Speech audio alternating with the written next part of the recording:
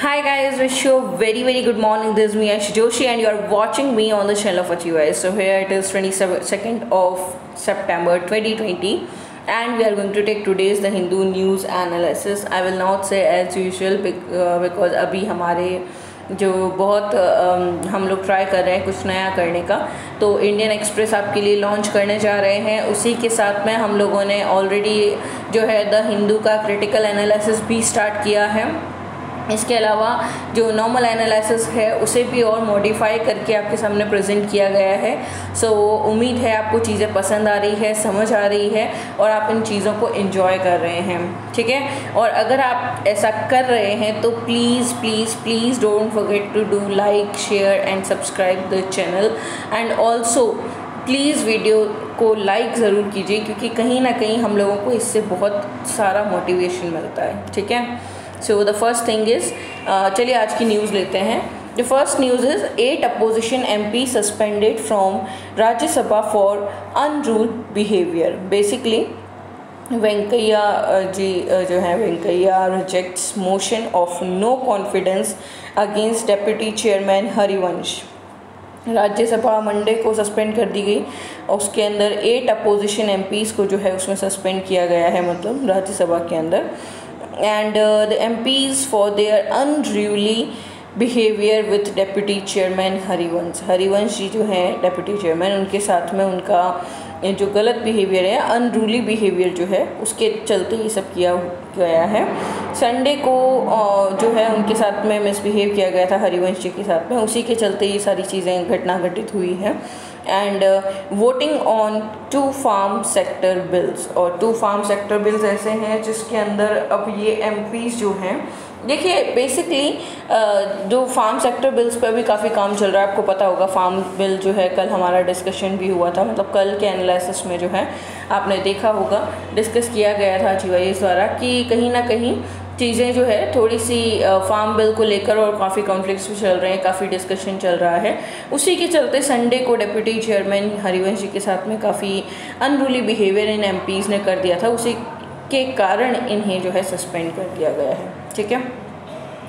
Chairman M Venkaiah Naidu also rejects the opposition's no confidence motion no confidence motion pass किया गया था, उसे भी अपोजिशन के इस मोशन को भी रिजेक्ट कर दिया गया है डेप्यूटी चेयरमैन के against okay saying the notice was not in proper format ये कहते हुए कि जो नोटिस नो कॉन्फिडेंस मोशन जो अपोजिशन द्वारा पेश किया गया था चेयरमैन के अगेंस्ट वो कहीं ना कहीं जो है जो सॉरी प्रॉपर मैनर में नहीं है इन अप्रोप्रिएट है ओके सो so, uh, उसी के चलते उसे रिजेक्ट कर दिया गया। The suspended M P is refuse to leave the house suspended F suspended जो एम पीज़ है उन्होंने कहा कि हम हाउस छोड़कर नहीं जाएँगे हम जो है यहाँ से नहीं जाने वाले हैं।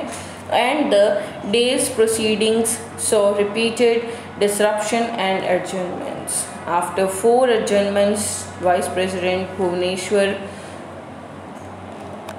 Kalita okay Bhubaneswar Kalita Arjan the house till 9 A M on Tuesday Tuesday को 9 ए एम तक जो है हाउस अर्जन कर दिया गया और उसके चलते ये सारी चीज़ें जो हैं, घटनाएँ घटित हुई, जिसके चलते, देखिए बेसिकली हो क्या रहा है, कहीं ना कहीं जो बिहेवियर है, वो बहुत मैटर करता है और पॉलिटिकल सिस्टम को अगर देखा जाए तो एम पीज़ एम ने ये मान लिया है कि राज्यसभा और लोकसभा बने इसीलिए हैं कि हम उसके अंदर मिसबिहेव कर सकते हैं। तो कहीं ना कहीं ये बिहेवियर रॉन्ग है। एम को एमएलएस को, हर किसी, हर लीडर को ये समझना होगा कि पार्लियामेंट या कॉन्स्टिट्यूशन या कोई भी डेप्यूटी या चेयरमैन या चेयरमैन जो भी है, उन लोगों के साथ, उन लोगों का अहदा क्या है, उन लोगों की वैल्यू क्या है, उन लोगों की जो हम कह सकते हैं सस्टेनेबिलिटी क्या है? और उन लोगों की जो है पोजीशन की वैल्यू क्या है? इन चीज़ों को समझने की बहुत ज़्यादा ज़रूरत है, जो कहीं ना कहीं लैक कर रहे हैं लीडर्स हमारे, ठीक है? तो इसी के चलते इस तरह की घटनाएँ घटित हो रही हैं और ultimately they need to understand they have to understand that what is going on and what shouldn't be there what shouldn't be like this okay so ये सारी चीज़ें चल रही हैं। यही मोदी जी का ने कहा है कि need of twenty first century की बात कही गई है। प्रधानमंत्री नरेंद्र मोदी जी ने asserted the Monday that the farm sector for reform bills pass by parliament were the need of twenty first century India इक्कीसवीं शताब्दी के भारत की बहुत महत्वपूर्ण जो हम कह सकते हैं डिमांड है या नीड है, ज़रूरत है farm sector bills he said that the minimum support price mechanism would continue. Minimum support price mechanism को continue किया जाएगा। Attacking critics of the bill, he said, जो जिन लोगों ने, जो आठ एम है और उसके अलावा जिन लोगों ने इस बिल को क्रिटिक्स किया क्रिटिसाइज़ किया, उसके अगेंस्ट मोदी जी ने कहा कि some people are protesting against their reform bills because control of farmers has slipped away from their hands जो लोग इसे अपोज कर रहे हैं, इन बिल्स को अपोज कर रहे हैं कहीं ना कहीं उनके हाथ से फार्मर्स का जो कंट्रोल है, ये ये मतलब जो फार्मर्स उनकी मुट्ठी में काम कर रहे हैं, उनके कहने पे या उनके अंडर में जो काम कर रहे हैं, या उनसे जो फ़ायदा लीडर्स को मिल रहा है, वो लोग इस डर से बड़े खौफजद हैं कि मतलब इस मुद्दे से बड़े खौफजद हैं कि अगर ऐसा बिल पास हो गया तो हमारे हाथ में कुछ नहीं रह जाएगा। तो अल्टीमेटली जो चीज़ें जो फार्मर्स उनके मुट्ठी में है अभी तक, वो उनके हाथ से फिसलते चले जा रहे हैं। इस चीज़ के डर से इसको अपोजिशन या उसके, इसके लिए अपोजिशन जो है क्रिएट कर रहा है बॉल अदरवाइज़ ये मुद्दा ऐसा है नहीं और जो बिल हम पास कर रहे हैं फ़ार्मिंग सेक्टर में रिफॉर्म्स के लिए पास किया जा रहा है। तो ultimately it is a good bill and it is the need of today's time okay तो ये सारी चीज़ें हम देख सकते हैं कि इस पर्टिकुलर सेक्टर में हमने देखी है, इस पर्टिकुलर आर्टिकल में हमने देखी है okay the next is in the air it is the part of your editorial section the first editor's article is in the air with more evidence of aerosol transmission physical distancing and masking are crucial the Centers for Disease Control and Prevention, that is CDC, is revising its guidelines to acknowledge the spread of COVID 19 through aerosol and to point into uh, yeah to point to inhalation of particles as a common way the virus spreads अब देखिए एक नई चीज़ सामने आ रही है काफ़ी मैंने भी इस पर काफ़ी रिसर्च किया और काफ़ी रिसर्च के बाद, काफ़ी आर्टिकल्स पढ़ने के बाद में अल्टीमेटली एक नई चीज़ हमारे सामने आई है, वो ये है कि जैसे जैसे चीज़ें बदलती चली जा रही है जैसे जैसे सिचुएशन आउट ऑफ़ कंट्रोल होती चली जा रही है कोविड नाइन्टीन को लेकर इस पर और रिसर्च और और चीज़ें समझने के बाद ये अल्टीमेटली पता चलता है कि देखिए मास्क वेयर सभी कर रहे हैं और जो है फ़िज़िकल डिस्टेंसिंग को भी काफ़ी हद तक फॉलो किया जा रहा है, लेकिन उन जगहों पर भी ऐसा नहीं है कि कोविड नाइन्टीन नहीं है। जहाँ ये चीज़ें फॉलो की जा रही हैं।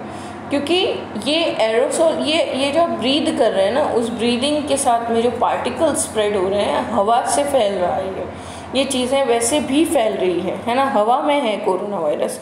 तो आपको ये चीज़ पता होनी चाहिए कि आपको इसके साथ में सरवाइव करना होगा। मतलब ये ऐसा वायरस है, जिसे इमीडिएटली आप बहुत सारे उपाय करके, बहुत सारे इलाज करके नहीं रिमूव कर सकते। ठीक है? A draft of the propose changes of to it recommends sorry recommendations which was later withdrawn pending finalisation confirm that airborne particles can spread even by breathing सांस लेने से भी ये चीज़ें फैलती हैं। Remain suspended in air and be inhaled and spread beyond six feet in certain enclose setting आप अगर खड़े हैं तो आप मान के चलिए सिक्स फीट तक आपकी जो एयर जो आप ब्रीथ कर रहे हैं, उससे जो एयर पार्टिकल्स जो स्प्रेड हो रहे हैं, उसके अंदर वो कोरोना वायरस अवेलेबल है और इसको जब कोई और ब्रीथ करेगा तो उसके अंदर भी, वो भी इनहेल करेगा उसे, है ना?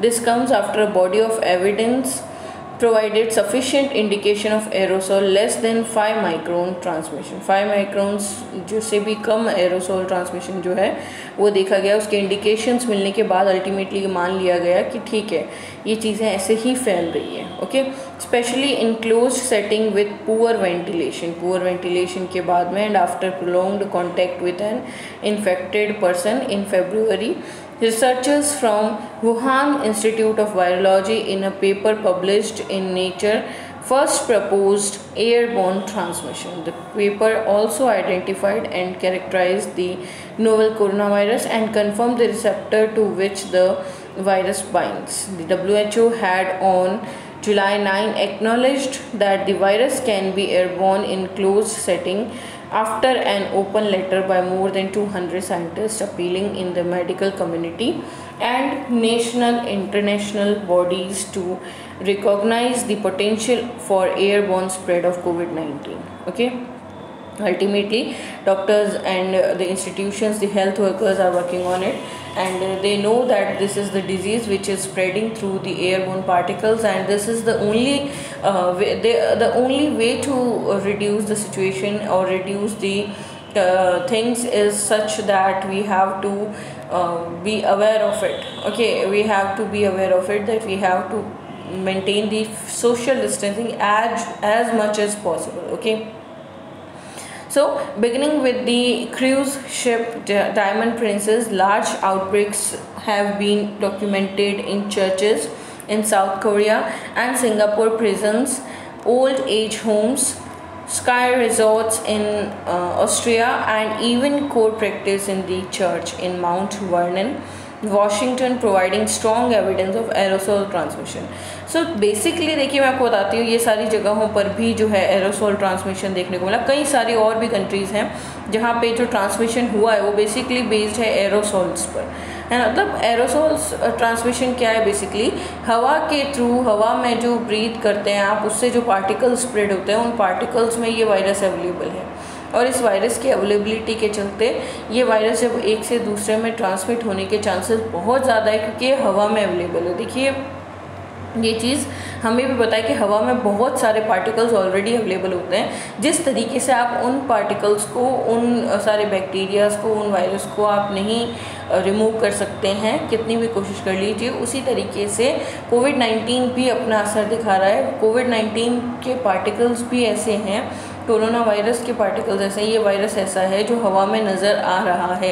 एरोसोल पार्टिकल्स है और एरोसोल से ट्रांसमिट ट्रांसमिट हो रहा है। ये ट्रांसमिशन देखने को मिल रहा है। So ultimately we can say all these things are happening by the aerosol aerosol transmission and this is the evidence that only physical distancing and mask wearing is not the ultimate way to go with और to deal with the situation we need to go for further and we have to be strong we have to strong our community we have to to build up our immunity.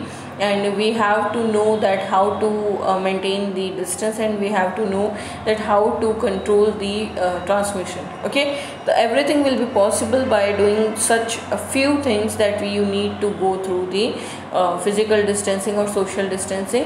And you have to build up your own immunity. Okay there have been similar results in other cases where universal masking was practiced universal level पे जहाँ mask practice हो रही है सारी countries mask पहन रही है सारी countries में mask और सोर्सेज physical distancing जो who dwara जो गाइडलाइंस दी गई है, उसके तहत फ़िज़िकल डिस्टेंसिंग सोशल डिस्टेंसिंग और मास्क वेयर करने की जो हिदायत दी जा रही है, वो ऑलमोस्ट सारी ही कंट्रीज़ कर रही है बट सर्टेनली कहीं पर भी इसका प्रभाव देखने को नहीं मिल रहा कि आपके मास्क वेयर करने से चीज़ें कंट्रोल में आ रही है, ऐसा बिल्कुल भी नहीं है। The best way to avoid getting infected is by staying clear by crowded आप क्राउडेड एरिया में ना खड़े रहें बिल्कुल अकेले में अपना टाइम स्पेंड करें जितना ज़्यादा हो सकता है। एंड क्लोज सेटिंग या जो है हम कह सकते हैं क्राउडेड एरिया ये सब चीज़ें आपको या हम कह सकते हैं कि पुअर वेंटिलेटेड एरिया जहाँ पे पुअर वेंटिलेशन है इन एरियाज़ में कहीं ना कहीं ये चीज़ें आपको इन्फेक्ट करेगी डेफिनेटली करेगी। सो so, आपको इन सबसे अवेयर रहने इन सबसे दूर रहने की ज़रूरत है। ठीक है?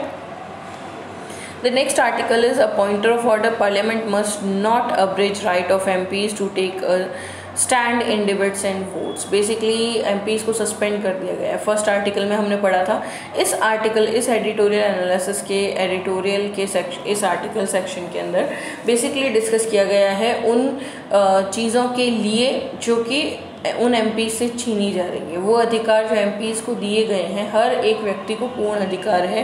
राज्यसभा या लोकसभा हो, चाहे मतलब पार्लियामेंट का कोई भी मेंबर हो, उसे पूर्ण अधिकार है कि वो जो डिस्कशंस होते हैं, जो सेशंस होते हैं, जो बजट या अन्य किसी भी मुद्दे से रिलेटेड अगर कोई मीटिंग या सेशन ऑर्गेनाइज किया जा रहा है तो उसके अंदर वो पूर्ण रूप से पार्टिसिपेट करने डिबेट करने, अपनी बात रखने का पूर्ण अधिकार है। तो अगर पार्लियामेंट के अंदर ये चीज़ की जाती है कि आप कुछ पर्टिकुलर एम को अपनी मन लायक बात ना होने पर आप उन्हें साइड में कर देते हैं तो कहीं ना कहीं ये उनके अधिकारों का हनन है, उनसे अधिकारों का छीनना है है ना? और उन्हें वोट्स और डिबेट्स में कॉम्पिट पार्टिसिपेट करने का पूरा पूरा अधिकार है। ये अधिकार उनसे छीनना किसी भी लेवल पे जो है, किसी भी सरकार के लिए, किसी भी पार्लियामेंट के लिए मान्य नहीं होगा।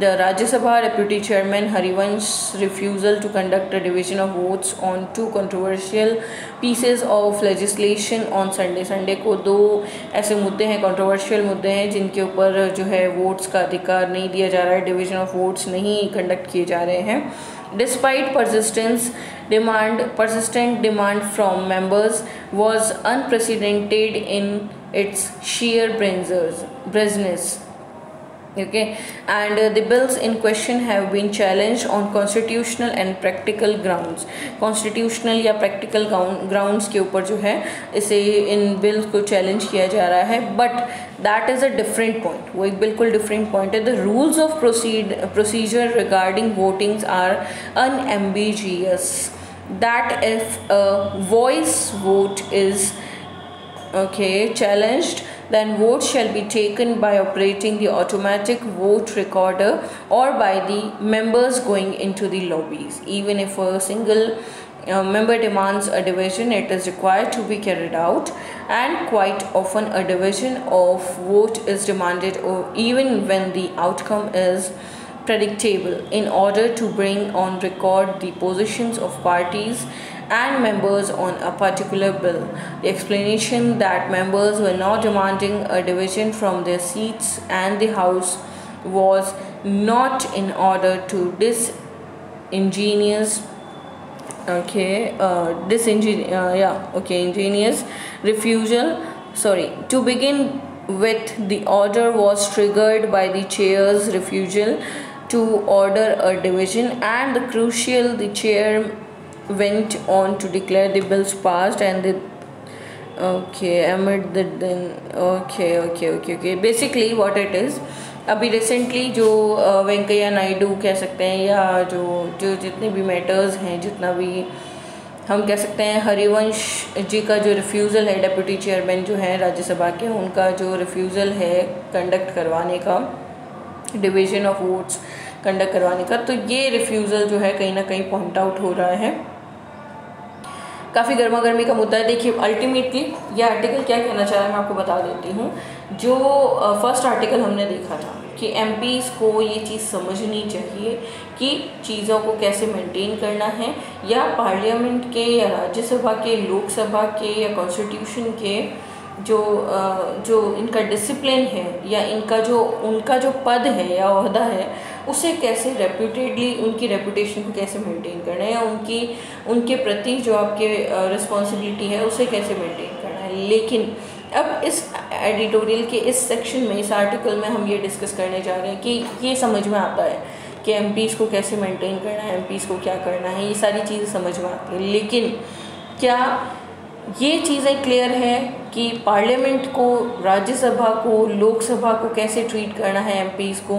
क्या ये किसी भी हद तक सही है कि आप एम और एम या किसी को भी पद से इस तरीके से आप उसे सस्पेंड कर दो चीज़ों को, या उसकी पोस्ट को, या उसकी अथॉरिटीज़ को इस तरीके से सस्पेंड कर दो कि आप उसे डिबेट में पार्टिसिपेट ना करने दिया जाए या वोट देने का अधिकार ना हो? तो ये चीज़ें जो है पॉइंट आउट की जा रही है और it is ultimately very correct कि ये जो चीज़ें चल रही हैं कि कहीं ना कहीं एम जो हैं वो नहीं सपोर्ट कर रहे हैं गवर्नमेंट को। ये सही है, लेकिन क्या गवर्नमेंट का जो तरीका है इन एमपी से डील करने का वो सही है? M are the very important post carry करते हैं। M are very important category of parliament okay?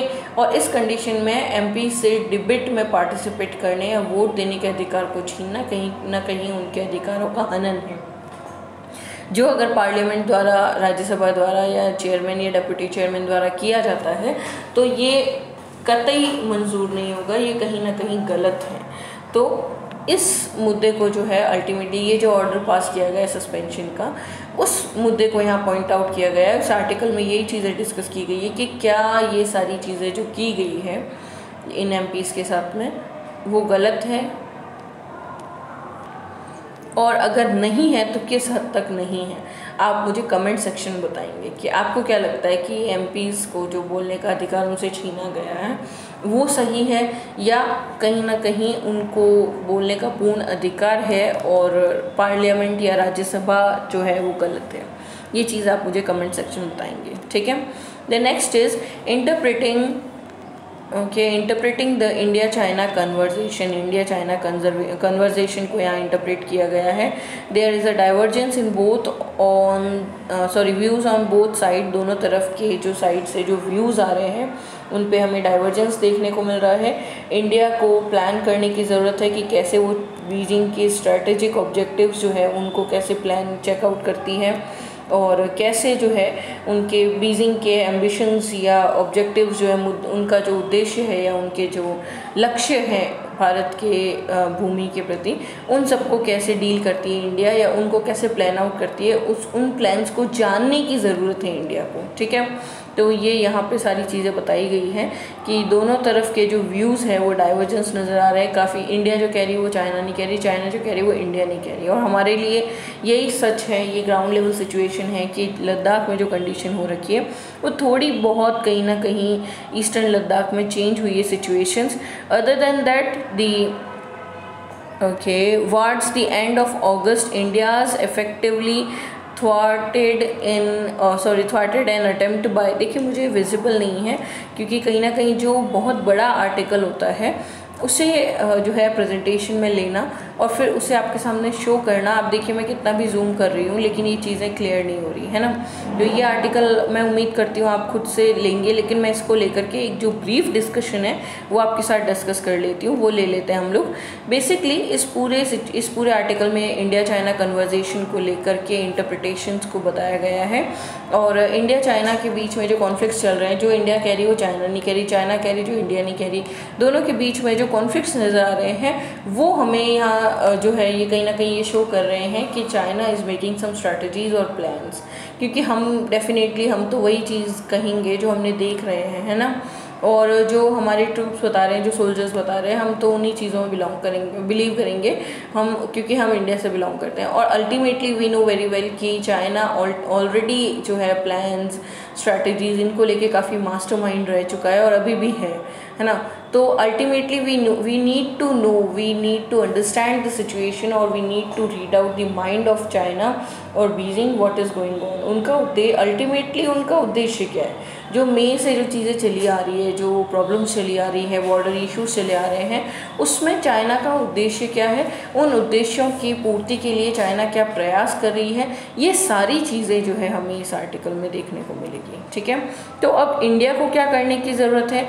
कैसे हम सिचुएशंस को जो है फाइंड आउट करेंगे? कैसे हम प्लान्स को फाइंड आउट करेंगे?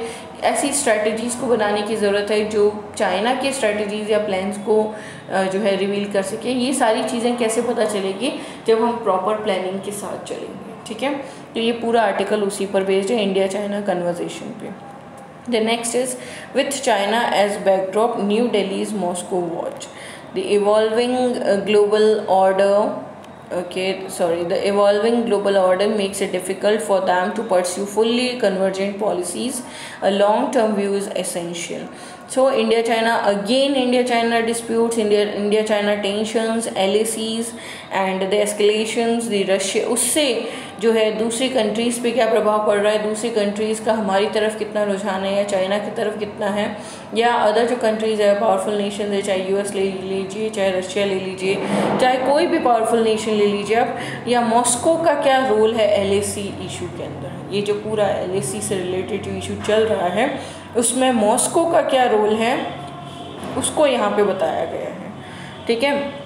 न्यू दिल्ली का जो डिसीज़न है uh, has led to question about the possible impact of deteriorating India-China relations on the India-Russia partnership India Russia partnership की बेसिस पे डिटोरेट करने की इंडिया चाइना रिलेशन को, ये जो प्लानिंग है, ये जो पॉसिबिलिटी पॉसिबल इम्पैक्ट नज़र आ रहा है इंडिया के एक्शंस में तो उससे रिलेटेड न्यू दिल्ली का जो डिसीज़न है, उससे रिलेटेड इशू को यहाँ डिस्कस किया गया है और अल्टीमेटली देखिए मैं इन शॉर्ट बता देती हूँ आपको इंडिया और चाइना के जो रिलेशन है, उसके अंदर रशिया का क्या रोल है मॉस्को का क्या इम्पैक्ट है मॉस्को वॉच क्या है और मॉस्को का जो आ, हम कह सकते हैं इंटरप्रटेशन है इन दोनों चीज़ों के बीच में इन दोनों कंट्रीज़ के बीच में वो क्या है और उसका क्या इम्पैक्ट नज़र आ रहा है? तो ये सारी चीज़ें इस आर्टिकल में बताई गई हैं और इससे अल्टीमेटली जो है क्या प्रभाव हमें देखने को मिलेगा चाइना और रशिया के रिलेशनशिप में?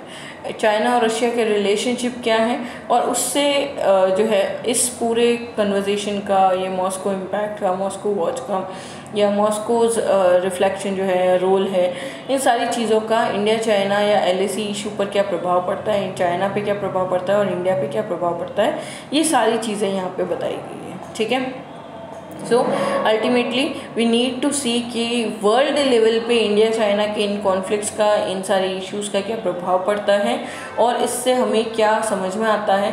देखिए, कहते हैं ना कि बुरे वक्त में हमें सब पता चलता है कि कौन सी कौन पर्सन हमारे साथ है, कौन हमारे अगेंस्ट है तो वही चीज़ यहाँ चल रही है। जो चाइना से कॉन्फ्लिक्ट हमारे चल रहे हैं, उन सब चीज़ों को चल, देखते हुए, उन सब चीज़ों को, उन सब मुद्दों को देखते हुए ये समझ में आ रही है चीज़ें कि हमारे चाइना से जो रिलेशन है, उसके चलते दूसरे कंट्रीज़ के क्या रिव्यूज़ आ रहे हैं, उनके क्या व्यूज़ हैं, उनको क्या, उनका जो है, उनका रुझान किस देश की तरफ़ है इंडिया या चाइना और अल्टीमेटली वो सही का साथ दे रहे हैं गलत का। तो ये सारी चीज़ें जो है, हमें पता चल रही है, जो कॉन्फ्लिक्ट चल रहे हैं। और उसी के बीच में मॉस्को का क्या रोल है रशिया का क्या रोल है, ये सारी चीज़ें यहाँ पे इस आर्टिकल में बताई गई हैं। ठीक है?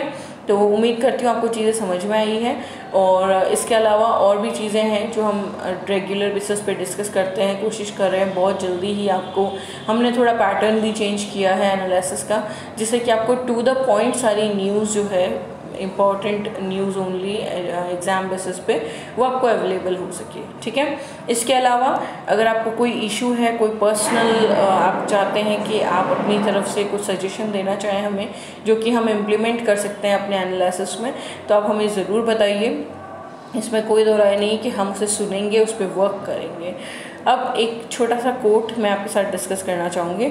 Desire that's the one secret of every man's career हर इंसान के करियर का सबसे बड़ा सीक्रेट है डिज़ायर ना कि एजुकेशन हम एजुकेशन के बेस बेसिस पे सब कुछ कर लेना चाहते हैं, लेकिन मैं आपको बता दूँ एजुकेशन कंपलसरी है, लेकिन उस हद तक जहाँ तक आपके करियर की शुरुआत होती है, जहाँ से करियर शुरू होता है, वहाँ पे सबसे बड़ी चीज़ जो ज़रूरी होती है, जो एलिमेंट आपके अंदर चाहिए, वो है डिज़ायर ठीक है? आप कोई जन्म से आपके अंदर कुछ हिडन टैलेंट्स नहीं होते हैं, आप जन्म से ही टैलेंट्स लेकर नहीं आए होते हैं। बस एक डिज़ायर ही ऐसी चीज़ है जो आपको अपनी मंजिल तक, अपने करियर तक पहुंचाती है। So always desire for good things for high things for high approaches for high post okay don't ever go through the normal things okay so education के बेसिस पे दुनिया नहीं जीती जाती। डिज़ायर्स उमंग जितना जोश आपके अंदर है डिज़ायर्स हैं, जितनी महत्वाकांक्षाएँ हैं, उन सब के आधार पर आप जीवन को जी सकते हैं। लेकिन हाँ ये भी एक फैक्ट है जो इस इस कोर्ट में नहीं दिया गया है कि आप अपने डिज़ायर्स महत्वाकांक्षाएँ, इच्छाएँ, ये सब होना बहुत अच्छी बात है। लेकिन इन सबको अपने ऊपर इतना हावी ना होने दो कि आपकी फ्यूचर पे, आपके करियर पे एक नेगेटिव इम्पैक्ट क्रिएट करें okay thanks for being with me bye bye take care thanks for watching if you like the video please don't forget to go through uh, the subscribe like and share button and always uh, we are here to be with you and एक चीज़ आप note ज़रूर कर लीजिएगा Indian express लेके आ रहे हैं हम आपके साथ में इंडियन एक्सप्रेस का एनालिसिस लेके आ रही हूँ मैं आपके साथ में और भी ईजी हो जाएगी चीज़ें आपके लिए जब आपके पास में द हिंदू का एनालिसिस भी अवेलेबल होगा और इंडियन एक्सप्रेस का एडिटोरियल एनालिसिस भी। तो अल्टीमेटली और इंपॉर्टेंट न्यूज़ भी कैरी करेंगे हम उसमें। तो अल्टीमेटली बहुत ही आ, हम कह सकते हैं बहुत इनोवेटिव हो जाएगा आपके लिए जब आप दोनों चीज़ें फ्यू मिनट्स के अंदर ही जो है फ्यू मिनट्स दे करके आप चीज़ों को समझ रहे हैं यहाँ बैठ कर इन वीडियोज़ के थ्रू तो हमारे लिए भी ईजी हो जाएगा आपके लिए भी ईजी हो जाएगा okay so thanks for being with me bye take care and we are working a lot for you. So please don't forget to like share और subscribe the channel okay and उसके अलावा, देखिए, आज थोड़ी बहुत disturbance create हुई है, शायद वॉइस इशू रहे हैं तो क्योंकि आज थोड़ा सा I am not at home I am just out of the home so थोड़े से कॉम्प्लिकेशन थोड़े से इश्यूज़ रहे हैं but don't worry we are trying कि आपको आगे से ऐसा कुछ ना मिले एंड बेस्ट चीज़ मिलेगी आपको बेस्ट एनालिसिस मिलेगा, उम्मीद करती हूँ चीज़ें आपको समझ में आ रही है और आगे भी आएगी। Bye bye take care have a great time